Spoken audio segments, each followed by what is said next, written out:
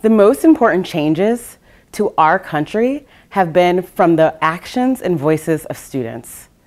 So thank you for your bold and courageous challenge to our system, your voices and your actions. As pediatricians, we got your back. We support you.